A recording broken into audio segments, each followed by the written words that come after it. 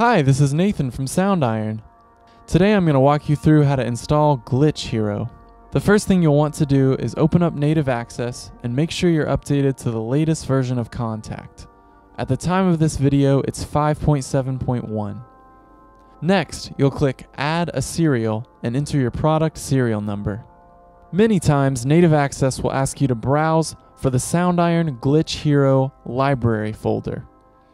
You're looking for the folder with the Glitch Hero NICNT file in it. Press install and Glitch Hero will be added to Native Access. Next, you'll open up Kontakt and Glitch Hero will appear in the Libraries tab.